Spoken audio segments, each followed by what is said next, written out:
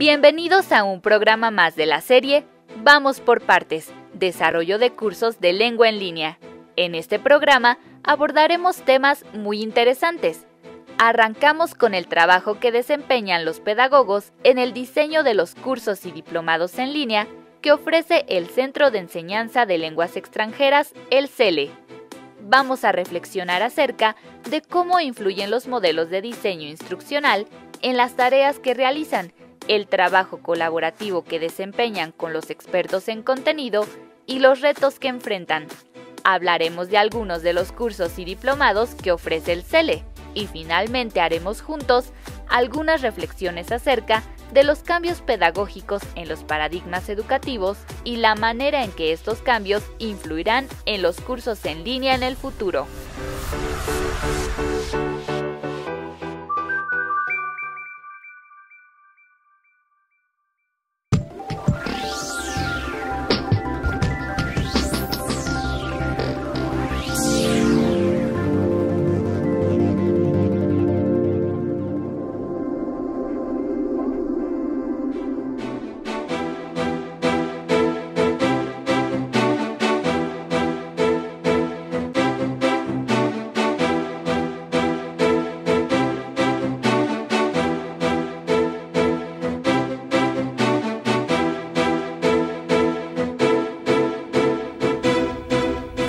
Tal? Qué gusto que nos acompañe aquí en Mirador Universitario en esta serie. Vamos por partes, desarrollo de cursos de lengua en línea y justamente nuestro programa del día de hoy lo hemos titulado Creando estructura, diseño instruccional y bueno, lo dedicaremos a hablar sobre las bases, esos primeros pasos que son necesarios para lograr y para llevar a buen término el proceso de enseñanza-aprendizaje en este tema, eh, los idiomas, eh, los, eh, lo que se hace a través de Internet. Y bueno, para hablarnos de este y otros muchos eh, temas que nos surgirán a lo largo del programa. Me da mucho gusto saludar a Ernestina León Perea. Ella es asesora pedagógica de la Coordinación de Evaluación a Distancia, la SED, del CELE de la UNAM. Bienvenida, Ernestina. Muchas gracias. Un placer bueno, estar también, aquí. Sí, gracias, gracias. Tendremos mucho de, qué platicar. También más adelante se integrará con nosotros eh, María Teresa Mayén Estebaranz. Ella es maestra en lingüística aplicada, quien también nos hará saber qué es lo que realiza la función aquí en el Centro de Lenguas Extranjeras. Y bueno, Ernestina, para entrar en materia, ya veíamos eh, esta cápsula y hablábamos de los eh, diseñadores instruccionales, que tienen mucho que ver con la pedagogía. ¿Por qué aquí se les llama diseñadores y no pedagogos únicamente? Bueno, lo que pasa es que es una rama de la pedagogía. El diseño instruccional está relacionado con enseñanza, aprendizaje, modelos, pero en la versión en línea. Por Esa es la única característica que los define, que los convierte en diseñadores sí. y no en pedagogos únicamente. Sí. Es como la especialización, ¿no? Y que ha surgido a partir de los últimos, las últimas décadas. A partir de que nacen los cursos en línea, bueno, entonces nace esta rama de la pedagogía. La aplicación. De hecho, sí. De hecho, es un término técnico, difícil, distante, pero los principios que lo rigen son realmente simples. Te voy a dar algunos ejemplos. Uno de ellos es la organización del el contenido o los contenidos y los materiales para, que se van a presentar durante el curso. El principio es, deben ser atractivos para los estudiantes. Ese es el, cómo se logra. Bueno, pues usando todos los recursos que nos da la red, usando todos los recursos que nos dan las plataformas. En el caso nuestro trabajamos con Moodle y los materiales variándolos. Si se usan todos los recursos que nos da la red, no vamos a presentar los materiales únicamente en texto, sino que va a haber una gran variedad. Eso va a hacerlos que sean atractivos para los estudiantes. Ese sería Debe un ser la característica principio. principal. Un principio. Otro principio es los objetivos. El programa se llama Creando Estructura porque el, deben estar estructurados por objetivos. Los objetivos es la meta a donde queremos llevar. Las unidades deben tener el objetivo parcial como el paso previo, los pasos previos antes de llegar a la meta. El alumno en educación a distancia debe estar completamente seguro de cuáles son esos objetivos y que todos van hacia la misma meta. Si Con el él, objetivo de crear certidumbre. Claro ¿Cómo se logra esto? Bueno, dosificando los contenidos. No podemos dar grandes partes y decir, vas a leer tres libros y después, no, se tiene que dosificar, se tiene que secuenciar. Esto va a crear seguridad en el alumno. Como decías, es por eso te decía que son los principios son simples. Si yo estoy seguro de qué voy a hacer, entonces voy a estar seguro de lo que voy a aprender y cómo lo voy a aprender. y, y, del objetivo a donde quiero llegar. Claro, eso sería como un segundo. Otro sería el que el estudiante tenga la oportunidad de que lo que va aprendiendo lo pueda aplicar en la vida real. Entonces hay que darle oportunidad a que eso que está aprendiendo, plantearle problemas en donde él lo vaya a aplicar, esas habilidades, esos conocimientos. Y eso siempre crea motivación en los alumnos, porque generalmente muchos nos preguntamos, ¿y eso para qué me sirve? ¿Y eso para qué lo estoy aprendiendo? Si se crean este tipo de cosas, va a ser atractivo, lo que te decía, atractivo para los estudiantes. Y otro principio como muy básico es el de la evaluación. Si yo estudiante sé cómo me van a evaluar, cómo van a evaluar mi desempeño de manera concreta, y me dan retroalimentación constante durante todo el curso, entonces voy a saber perfectamente si estoy logrando mis objetivos y eso va a crear otra vez certidumbre de la que hablas. Entonces, estos son algunos de los principios básicos explicados de manera muy simple, pero que lo que se requiere es que el alumno los encuentre atractivos. De las características que tienen que tener eh, eh, en la cabeza y muy claros para, para llevarlo, llevarlo a cabo.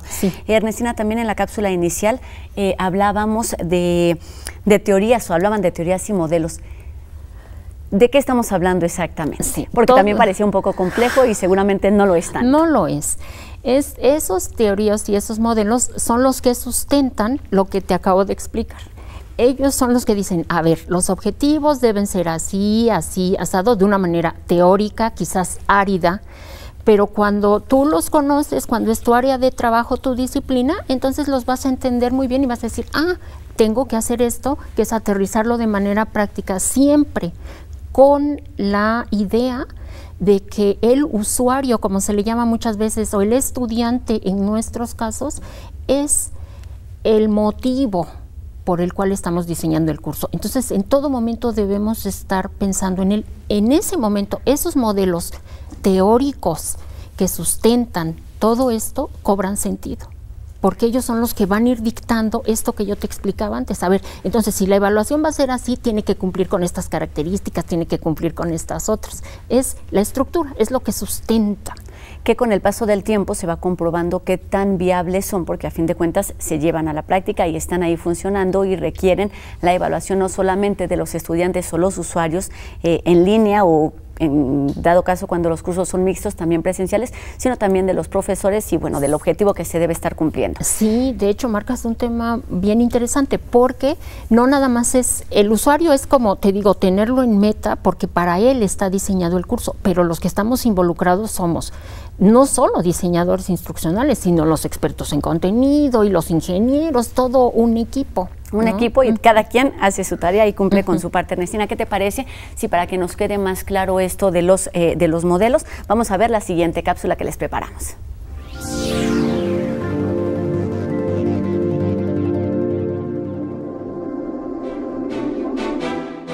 Como ya hemos mencionado, los modelos de diseño instruccional están basados en las diferentes teorías de aprendizaje. En el CELE, hemos tomado algunas secciones del modelo de Gagne y Briggs, aunque también hemos incluido aspectos del modelo Azure, el modelo ADI y algunos otros. El proceso es el siguiente. Al llegar al área pedagógica de la Coordinación de Educación a Distancia, los cursos ya están elaborados y se han analizado a nivel de sistema, nivel de curso y nivel de lección. Lo que hacemos las pedagogas es una revisión cuidadosa de ciertos aspectos específicos.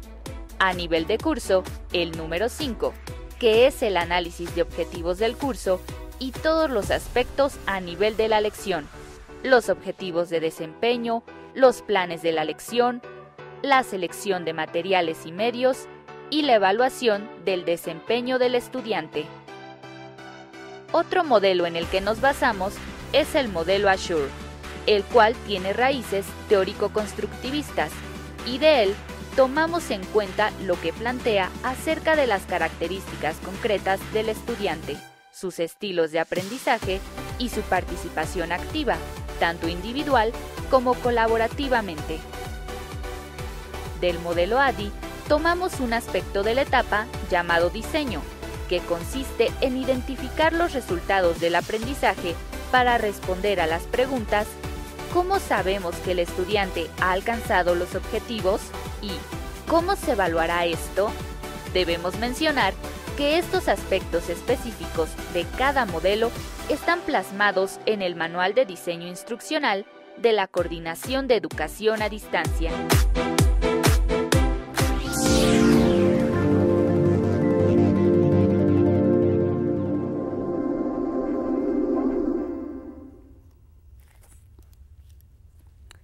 Ya estamos de regreso y luego de esta información eh, eh, llegamos a la conclusión de que es necesaria la evaluación, el análisis. Todos estos procesos son moldeables, son eclécticos, es decir, no son rígidos. ¿Es cierto, Ernestina? Es cierto. Hablando de modelos, no hay un solo modelo que cumpla con todo lo necesario para los cursos de lengua, ni para ningún tipo de cursos. Entonces, lo que hacemos en la coordinación es tomar de varios modelos, como decía la cápsula, y usar de cada modelo aspectos específicos que van a responder a las necesidades de nuestros alumnos. Te voy a dar un ejemplo. Eh, en una unidad de aprendizaje se va a ver medio ambiente todo lo relacionado con problemas en el medio ambiente, qué es lo que sucede. Entonces se va planeando clase por clase, lección por lección, diferentes aspectos, se toca vocabulario que deben aprender los estudiantes, en fin, cosas gramaticales, de todo. Y en cualquier curso, básicamente. En cualquier curso. Y el final necesitan presentar un proyecto. Una actividad final es un proyecto. Y en ese proyecto van ellos a proponer una intervención en su entorno que tenga problemas, ya sea aquí en CEU o en donde viven, en su barrio, y presentar cuál sería la intervención, cómo cambiarían eso, cómo involucrarían a la sociedad que está cerca, cuánto costaría ese proyecto. Entonces, como ves, es traer todo. ¿Y por qué? Porque cuando hablamos una lengua, no necesitamos hablar en oraciones, no necesitamos saber nada más aspectos de gramática, sino que hay que englobar.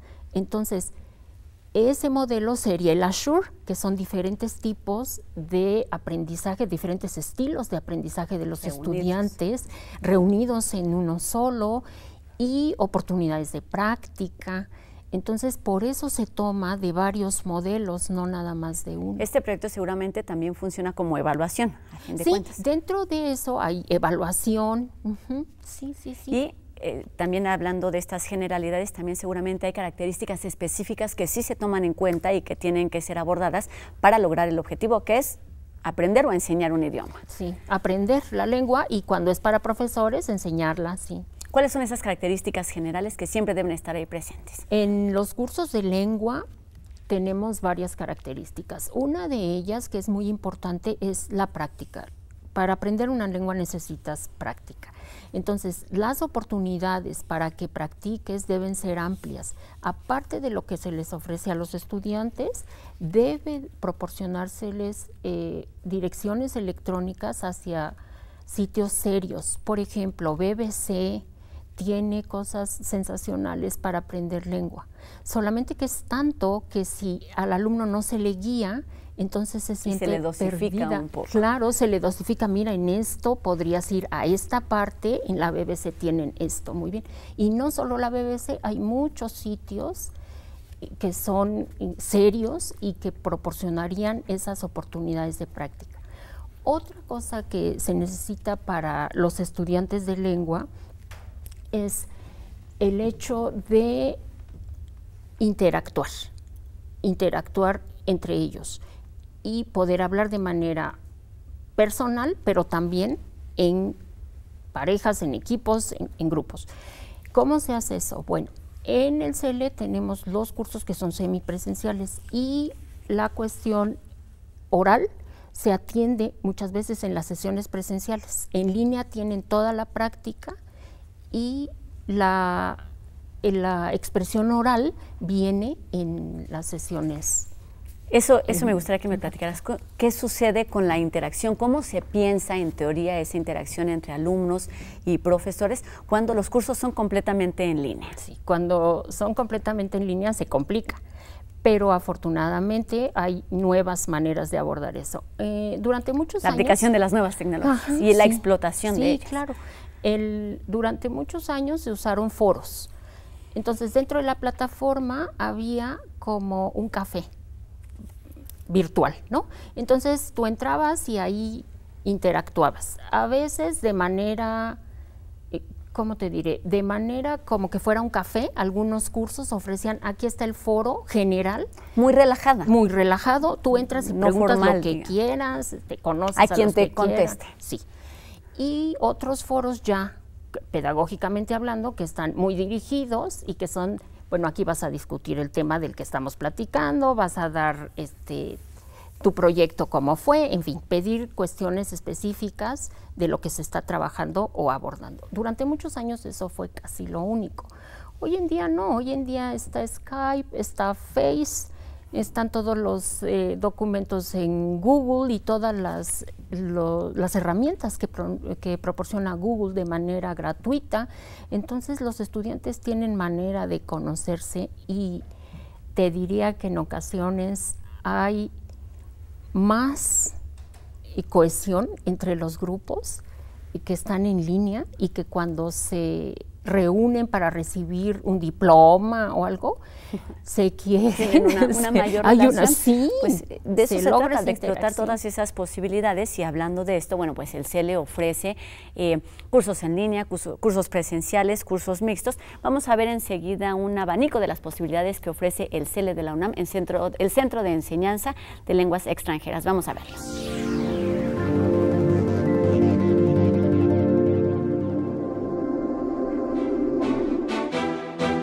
Los cursos semipresenciales de inglés de 140 horas cada uno están dirigidos a estudiantes de nivel intermedio e intermedio alto, B1 y B2 respectivamente, de acuerdo al marco común europeo. En estos cursos, el estudiante tiene a su disposición abundantes materiales auténticos. Cada una de las unidades trata de un tema cultural diferente, lo cual permite al estudiante desarrollar las cuatro habilidades básicas. El curso avanzado de comprensión auditiva en inglés, que busca fortalecer algunas de las habilidades y estrategias necesarias para el estudiante de nivel B2C1 de acuerdo al marco común europeo. El CELE también ofrece cursos de comprensión de lectura en línea, los cuales buscan desarrollar las habilidades y estrategias de comprensión lectora de textos jurídicos y de ciencias sociales y que faciliten a los estudiantes la acreditación de exámenes de requisito para la obtención de grado. Otro curso breve es ABA, Introducción a Ambientes Virtuales de Aprendizaje, dirigido a alumnos y profesores que se estén iniciando en esta modalidad. Los temas que aborda son cibertetiqueta, estilos y estrategias de aprendizaje, autonomía y aprendizaje colaborativo. En cuanto a diplomados, ALAD, actualización en lingüística aplicada a distancia, se ofrece cada año y está dirigido a profesores en servicio y con experiencia. Su objetivo general es que al concluir, los profesores sean capaces de dar soluciones a problemas concretos en el aula a través de la investigación-acción. Además, se ofrecen diplomados de desarrollo profesional, dirigidos a los profesores que desean actualizar sus prácticas docentes e incursionar en la modalidad en línea.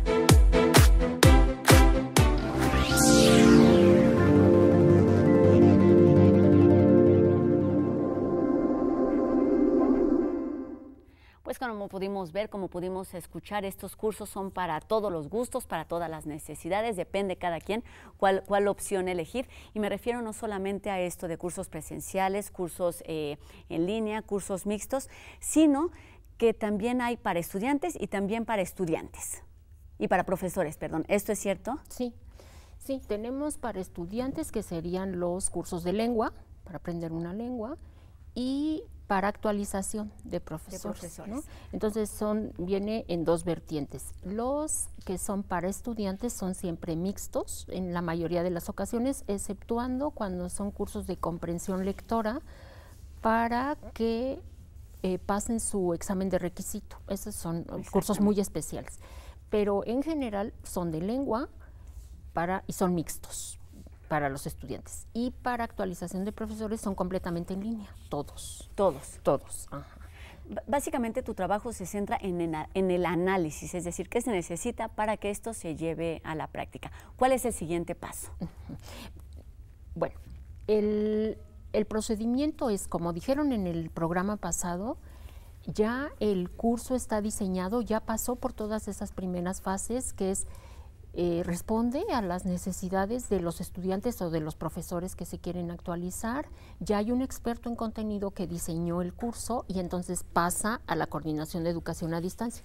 En ese momento es cuando las pedagogas o diseñadoras instruccionales hacemos todos los análisis para ver si el curso cumple o no o se puede, en qué aspecto se podría mejorar de lo que platicamos al principio del programa. ¿Para qué? Para que sea atrayente a los estudiantes. Entonces, ese análisis que hacemos las pedagogas está basado en los modelos que vimos en la cápsula y todo para que los cursos cumplan, tanto para que sean atractivos para el estudiante, pero también para que cumplan con los estándares internacionales, porque este es un fenómeno que no nada más es del CELE o de la UNAM, es a nivel internacional. Entonces, todos los cursos en línea deben cumplir con ciertos requisitos como un checklist, ¿no? tiene esto, tiene esto, tiene esto, tiene esto. Entonces, ese es el tipo de análisis que hacemos. Esto en cuanto a la, en cuanto a la responsabilidad de profesores del, en particular y del CELE en general. Pensando un poco en los estudiantes, ya lo mencionabas también, ¿quién se acerca al CELE o cómo están pensados? Porque aunque mayoritariamente seguramente son universitarios, son estudiantes, ¿cómo, cómo se clasifica ese público que está ahí más allá de una pantalla o de un teclado? ¿Cómo se piensa en ellos? se piensa porque son alumnos regulares de los cursos presenciales y son alumnos del campus de CEU. Entonces, se tiene muy bien qué tipo de alumnos son los que van a nuestro centro como alumnos de clases presenciales.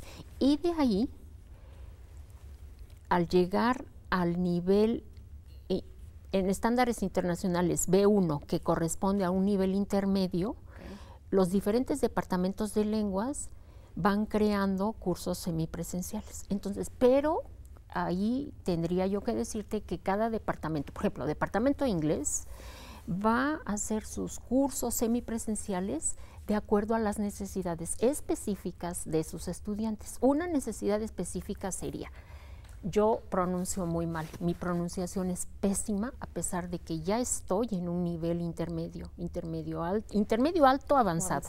Entonces se ofrece un curso específico de fonética para inglés. Pero eso no sucede en francés. En francés necesitan pasar los estudiantes un examen ¿no? internacional. Entonces el curso va a ser semipresencial también, pero con otros objetivos completamente diferentes. Y se están viendo otros, por ejemplo, de griego o de alemán. Son 18 idiomas más sí, los que, los que ofrece el sí, son demasiados. No sé exactamente si son 18, pero sí son algunos de ellos muy que no hay en otros lugares, ¿no? Por ejemplo, sueco. Además de, las actividades específicamente o particularmente académicas, ¿existen otras eh, actividades extracurriculares, digamos, que complementen el, el proceso? Sí, pero no en especial para los cursos de los que estamos hablando, no para cursos mixtos o en línea completamente. Hay en general para el centro, sí, claro que sí hay una serie de actividades eh, extracurriculares que podrían y pueden de hecho beneficiar a los alumnos, pero no están pensados desde el punto de vista de cursos semipresenciales o en línea, no es esa no tomamos en cuenta. No es la prioridad, digamos.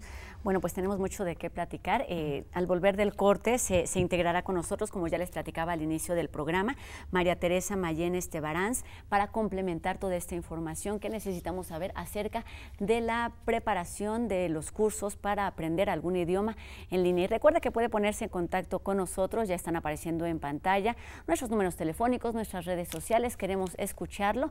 Haga junto con nosotros este Mirador Universitario. Volvemos después de una pausa.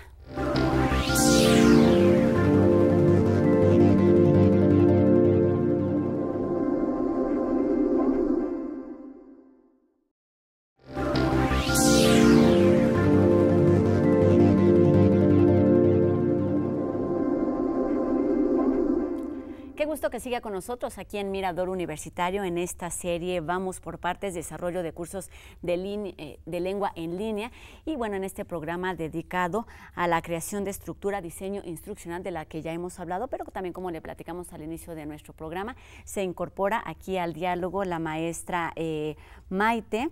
Eh, más bien Maite María Teresa Mayén Estebaranz, quien es profesora del Centro de Lenguas Extranjeras de la UNAM. Bienvenida. pues vamos a hablar de, esto y mucho más, pero antes las invito a ver el siguiente testimonio, la siguiente cápsula eh, que preparamos con dos expertos en contenido que han realizado cursos en línea y formación aquí en el CELE. Vamos a verlos.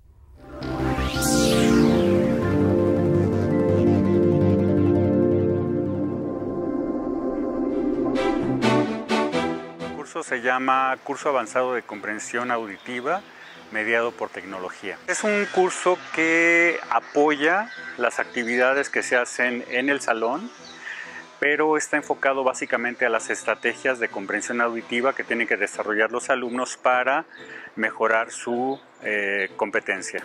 Bueno, la pedagoga nos ayudó muchísimo. A mí en lo personal me encantó su trabajo porque eh, revisó obviamente todo el curso para ver qué tan viable era, qué tan pedagógico era, pero básicamente ella se enfocó en, por ejemplo, los objetivos, en que estuvieran acorde con las actividades, porque por ejemplo a veces los objetivos eran un poquito bajos a nivel de, eh, habilidad y estos eran eh, pues eh, se mejoraban, es decir, se, ajustaban a las actividades. Eso fue muy importante. Otra de las cosas es también la redacción, obviamente, había cosas en los textos que no estaban bien redactados, eh, la pedagoga los revisaba. Y también era muy importante toda la cuestión de integración al final de cada unidad. Eh, nos hacía mucho hincapié en que hubiera una actividad integradora para que el alumno tuviera como una visión general de lo que aprendió y también creo que es muy importante el hecho de que de pronto algunas unidades eran muy extensas y la pedagoga nos hacía hincapié en que fueran dosificables, es decir, para que el alumno no se desmotivara porque fueran demasiado eh, eh, eh, difíciles, especialmente a nivel de tiempo. Y entonces eso ayudó muchísimo. Yo aprendí muchísimo, yo creo que cualquier maestro que de un curso de eh, por tecnología debería ser un curso como parte de su eh, programa de formación porque es cuando entras a las tripas que te das cuenta realmente qué es lo que está pasando con los cursos, qué es lo que está bien, qué es lo que no está bien y sobre todo qué, qué alcance tiene la tecnología. Por ejemplo, para mí esto es muy importante, cómo acomodarnos porque todavía la tecnología yo siento que le falta muchísimas herramientas y cosas eh, para que sea exactamente como lo que yo puedo hacer a nivel creativo en una sala. Entonces es muy importante que el maestro se dé cuenta de que la tecnología tiene ciertas limitaciones, los programadores están ajustados a esas limitaciones y entonces el pedagogo que nos ayuda nos, eh, auxilia para saber qué, se puede hacer, qué no se puede hacer y cómo podemos como llevar la realidad a la tecnología, a ese medio tan específico. Fueron tres cursos. El primero fue el curso de eh, comprensión de lectura em, en el área jurídica para estudiantes de derecho, curso de comprensión de lectura para estudiantes de derecho. El segundo fue el curso de observación, planeación y práctica de clase. Y el tercero fue el curso de diseño de materiales para la enseñanza de lenguas. El primero es un curso de comprensión de lectura en el cual se guía a los estudiantes en las estrategias que deben tener para leer, para comprender el contenido de textos escritos en inglés sin hablar la lengua. El segundo y el tercero, el de observación, planeación y práctica y diseño de materiales, son cursos teóricos para la formación de profesores de lenguas. La pedagoga trabajó todo el curso, es decir, revisó todo el curso e hizo sugerencias acerca de todo lo que ella consideraba pertinente. En realidad estamos hablando de sugerencias que van desde el planteamiento de objetivos hasta las actividades mismas, sin pasar por alto incluso el discurso que se dirige a los estudiantes. No podría cerrarme a un tipo de, aspectos que ella trabajó en particular e hizo sugerencias acerca de todos los aspectos. Indudablemente mejoró los cursos. El diseño de materiales no es una labor que se desarrolla por una sola persona. Se debe de trabajar en equipo con otros profesionales precisamente para mejorar los cursos y que esto redunde en un beneficio para el público a quienes están dirigidos los cursos. Es decir, que mientras más personas puedan ver los cursos con otros ojos, mejorará el material. Y obviamente quienes van a resultar beneficiados son los participantes que tomen el curso.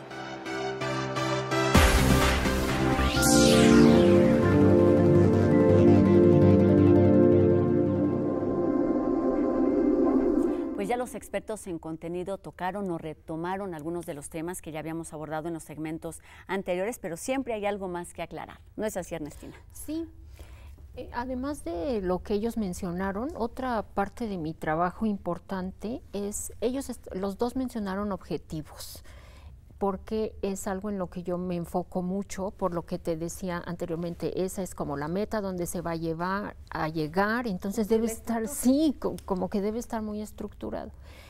Y dentro de esos objetivos, los dos mencionaron, a veces están más bajitos, es decir, ellos plantean el alumno va a conocer. Y de pronto en las actividades están haciendo mucho más, son actividades mucho más desafiantes que conocer, superan. Entonces es cuando les digo, no, mira, esta es tu actividad, entonces hay que mejorar el objetivo.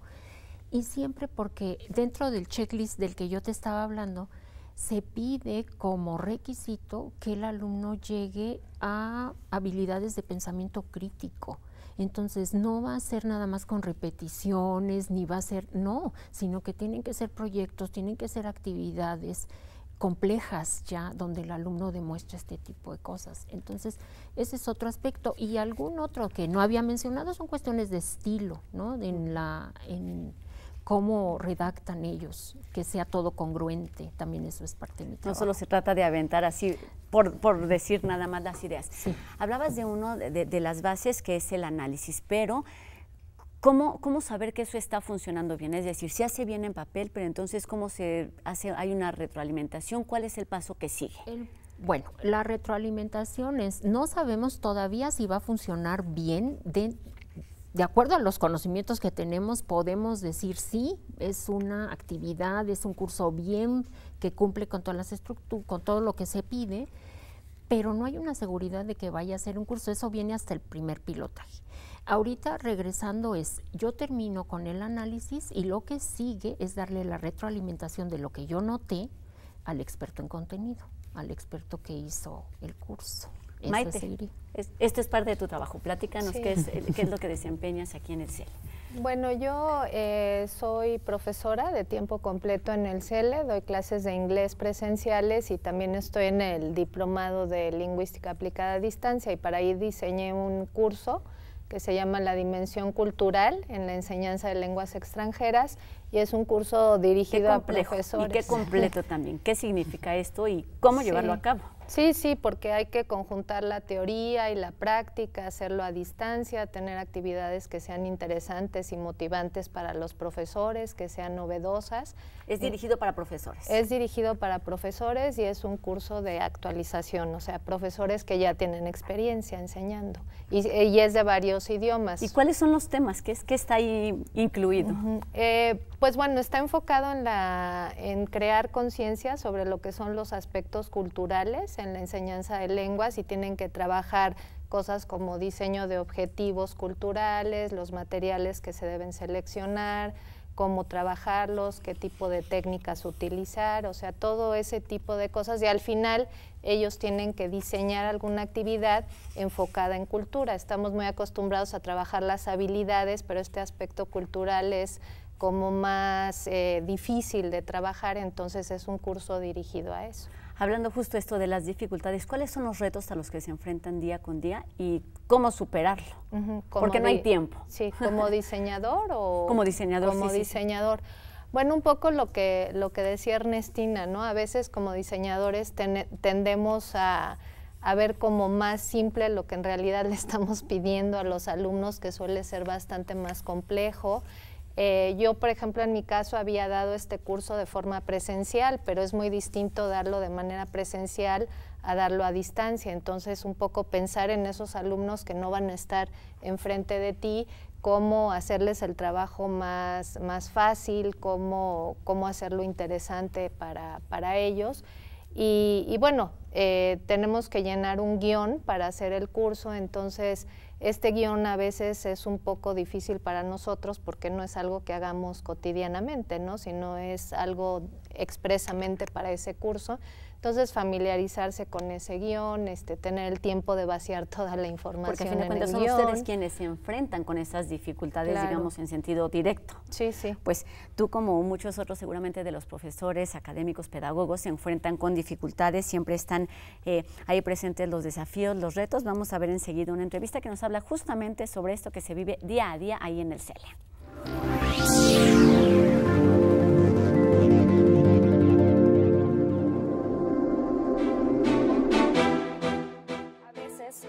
Los expertos en contenido no están familiarizados con la modalidad a distancia.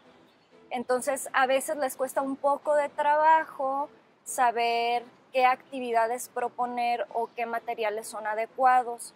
Y lo que sucede es que utilizan el texto como fuente principal eh, y las actividades luego se vuelven lee y haz un resumen o lee y contesta un cuestionario cuando hay muchos recursos y muchas actividades que pueden incluir en sus cursos.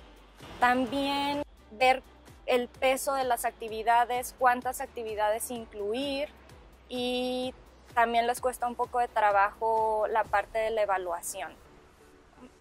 Debido también a que no están muy familiarizados con la forma de trabajo, cuando es la primera vez que los expertos en contenido colaboran con nosotros, pues no conocen bien la forma de trabajo que tenemos en la coordinación. Entonces a veces presentan un poco de dificultad al utilizar el guion instruccional, que es el, nuestro instrumento principal de trabajo, seguir las fechas que están marcadas en el calendario algunos de los problemas que enfrentan los estudiantes en este tipo de modalidad es por un lado la falta de organización en el tiempo y por otro lado el estudio autónomo. Cuando hablo de la falta de organización en el tiempo, me refiero a que en ocasiones consideran que es más sencillo interactuar en esta modalidad que les va a permitir realizar sus demás actividades, pero no toman en cuenta que también la educación a distancia está formalmente estructurada, tiene una organización y que además necesitan cumplir con sus actividades en tiempo y forma, porque al final también son evaluados y esta es una parte muy importante. Cuando hablaba del estudio autónomo, me refiero en ese sentido a que en ocasiones no estamos muy acostumbrados a estudiar de manera independiente y eso es algo que nos cuesta mucho trabajo y porque generalmente necesitamos a alguien que nos esté diciendo, ¿no? También creo que otra de las mm, preocupaciones en esta modalidad y sobre, y sobre todo para los profesores, que en este caso fungen como estudiantes, es eh, enfrentarse al uso de las nuevas tecnologías y también el conocer mm, la plataforma y eso muchas veces les genera incertidumbre por un lado y por otro lado puede ser también falta de motivación.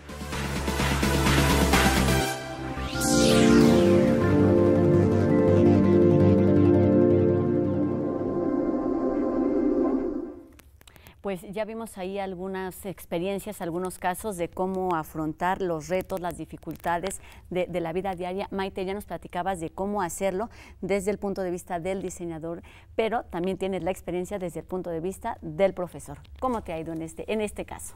Eh, bueno, como profesor yo tenía la ventaja de ya haber tomado muchos cursos en línea, entonces había estado del otro lado, del lado del alumno y también del tutor entonces creo que esto me, ayudó mucho a, entender qué se necesita, ¿no? Y habiendo tenido una experiencia previa como alumno y como, como tutor.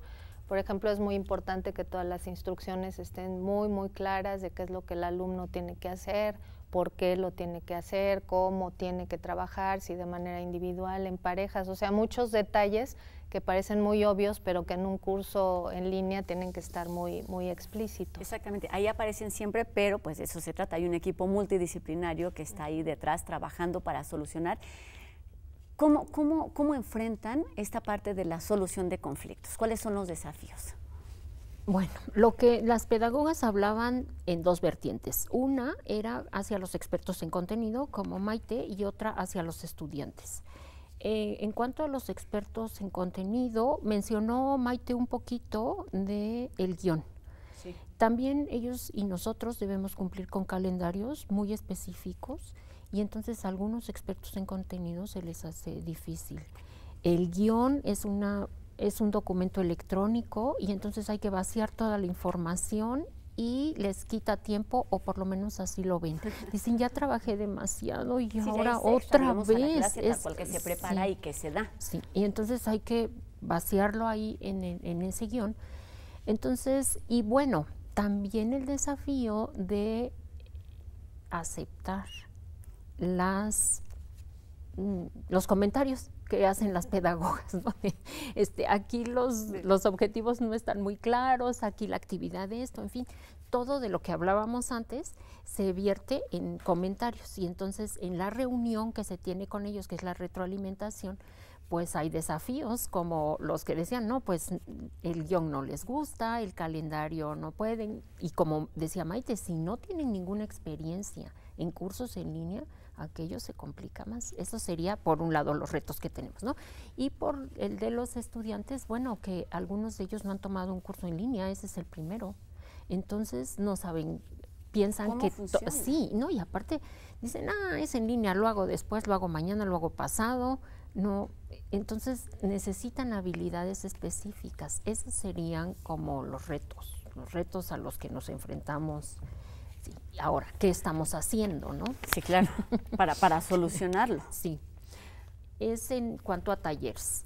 Eh, a los expertos en contenido diseñamos un taller de una semana, eran 10 horas, pero hay problemas para horarios, porque todos estamos muy atareados y entonces había ausentismo o llegaban tarde. Esto, y eso se reflejó después al momento de trabajar en el curso. Entonces lo que estamos haciendo es planearlo en diferentes etapas de, del diseño. Mientras el experto en contenido está diseñando, nosotros vamos dando partecitas de ese taller para irlos como introduciendo a cómo van a trabajar en la coordinación. Eso es en cuanto a alumnos, en cuanto a expertos en contenido. Y en cuanto a alumnos, tenemos un curso de introducción a ambientes digitales de aprendizaje pero es de 20 horas y tiene asesor. Son demasiadas horas para el curso de lengua. Los alumnos van a decir, ¿por qué me quitan 20 horas? enseñándome otras cosas. Entonces, eh, la solución es dar un curso de solo 10 horas, es decir, acortarlo a la mitad, ya está cortado, y darlo sin asesor. Muy bien. Maite, ¿cómo viven ustedes? Aunque sea mucho trabajo o trabajo extra, aunque se complique con los horarios, con las clases, ¿por qué es importante la retroalimentación? Bueno, la retroalimentación es una parte fundamental del diseño. Eh, yo creo que muchas veces cuando diseñamos algo, estamos trabajando tanto tiempo en eso, lo vemos tanto, que cosas que, son muy obvias a nosotros ya no, ya no nos son obvias, ya no las vemos. Entonces siempre es muy importante que haya alguien que lo vea desde fuera con unos ojos nuevos, que lo vea por primera vez y hay cosas que a ellos les saltan a la vista y, como diseñador es muy importante tener esa apertura también. Cuando diseñamos algo es un poco como nuestro bebé, ¿no? Y es casi perfecto y es mío y está perfecto pero no es así, entonces hay que, hay que saber aceptar la, la, crítica y estar abierto para poder mejorarlo y corregir ciertas cosas que quizás no estén bien. Y aunque sea así, eh, a la hora de estarlo realizando, bueno, hay características pedagógicas esenciales de un buen curso en línea y de esto va nuestra siguiente cápsula. Vamos a verla.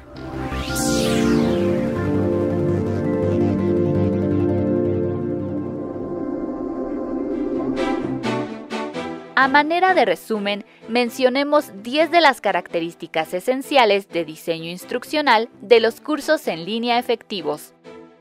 1. El contenido esté estructurado en unidades, temas, módulos, subtemas, entre otros, además de dosificado. 2. Los objetivos generales están claramente definidos y alineados con los objetivos de aprendizaje. 3.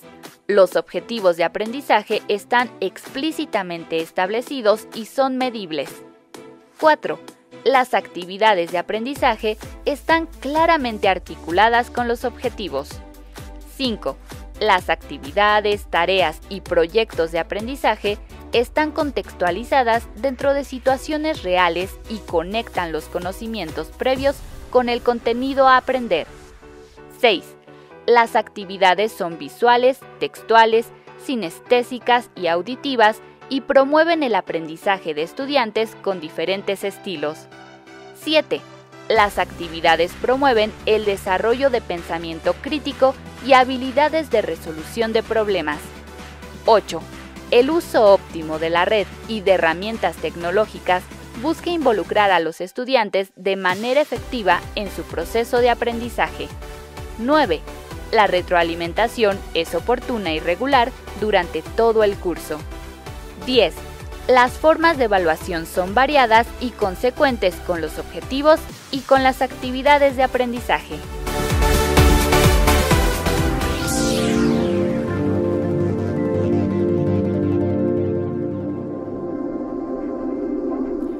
Acercando ya a la parte final de este programa de la serie Vamos por Partes y no podemos irnos sin dejar de hablar de las nuevas tendencias que viene, que se vislumbra. ¿Qué es lo que ven ahí en el horizonte, Ernestina? Ventarrones y cambios, pero drásticos, muy drásticos. y muy rápidos además. Sí, claro.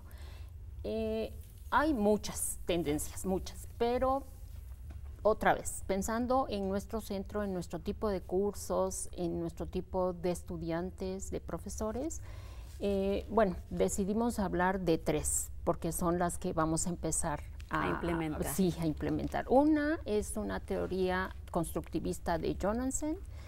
Lo que plantea es el aprendizaje no se transfiere, sino que cada persona lo va construyendo.